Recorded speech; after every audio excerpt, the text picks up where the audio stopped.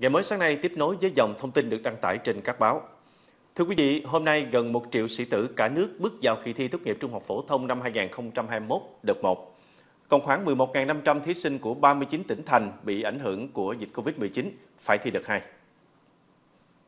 Theo thông tin trên báo Sài Gòn Giải Phóng, để tạo điều kiện thuận lợi nhất cho thí sinh bị ảnh hưởng của dịch Covid-19 mà không thể dự thi tại hội đồng thi đã đăng ký, Bộ Giáo dục Đào tạo cũng đã có văn bản đề nghị các sở giáo dục đào tạo xem xét việc tiếp nhận để tổ chức thi cho các thí sinh chuyển đến từ hội đồng thi khác đủ điều kiện.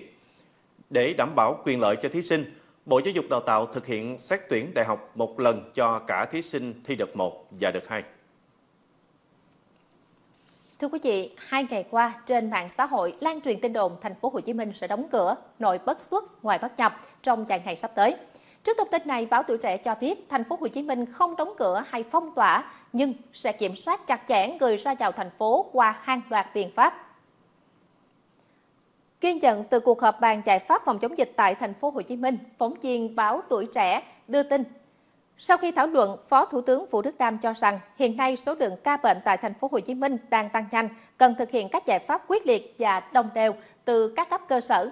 Theo đó, thành phố sẽ cấp mã QR cho các đối tượng đã có kết quả xét nghiệm âm tính, góp phần thuận lợi trong quá trình người dân ra vào thành phố hoặc đến các địa điểm khu vực trong thành phố. Giấy chứng nhận kết quả xét nghiệm để sử dụng như giấy thông hành đi lại. Đối với công dân ngoài tỉnh làm việc tại thành phố, thành phố sẽ có thỏa thuận cụ thể với các tỉnh lân cận. Trước hàng loạt ca dương tính với Covid-19 có liên quan đến ổ dịch tại chợ đầu mối nông sản thực phẩm Bình Điền, thành phố Hồ Chí Minh, từ hôm qua, Ủy ban nhân dân quận 8 đã ban hành công văn khẩn đề nghị tạm dừng các hoạt động tập kết giao hàng trực tiếp tại chợ này. Thông tin đáng chú ý này được báo Thanh niên đăng tải. Để chủ động trong hoạt động kinh doanh, các tiểu thương có thể thay đổi hình thức vận chuyển, giao và nhận hàng theo hình thức điều phối trực tuyến giao tận nơi cho những khách hàng mà không thực hiện trực tiếp tại chợ đầu mối Bình Điền để đảm bảo hàng hóa lưu thông thông suốt đến tay người tiêu dùng. Ngay sau khi đóng cửa chợ đầu mối Bình Điền, ban quản lý chợ tiến hành phun tiêu độc khử trùng toàn bộ khu vực chợ.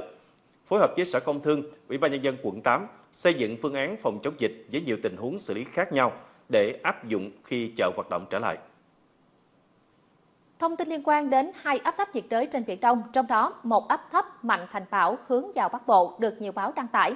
Theo báo Việt Nam Net, 7 giờ sáng nay, vị trí tâm bão ở khoảng 18,3 độ Vĩ Bắc, 110,2 độ Kinh Đông, ngay trên vùng biển phía nam đảo Hải Nam, Trung Quốc. Sức gió mạnh nhất dùng cần tâm bão mạnh cấp 8, giật cấp 10. Trong 24 đến 48 giờ tiếp theo, bão tiếp tục di chuyển theo hướng Tây, Tây Bắc, mỗi giờ đi được khoảng 20 km và suy yếu dần thành áp thấp nhiệt đới. Do ảnh hưởng của áp thấp nhiệt đới kết hợp với tác động của trường gió Tây Nam có cường độ hoạt động trung bình đến mạnh, nên dự báo trong những ngày tới, các tỉnh Bắc Bộ có mưa xảy ra trên diện rộng. Theo báo Việt Nam Net, đây là những hiện tượng thời tiết rất nguy hiểm cho các hoạt động giao thông của người dân, nhất là trùng giới thời điểm diễn ra kỳ thi tốt nghiệp trung học phổ thông năm 2021. Người dân cần chủ động theo dõi sát các thông tin dự báo thời tiết để có biện pháp phòng tránh an toàn cho chính bản thân mình.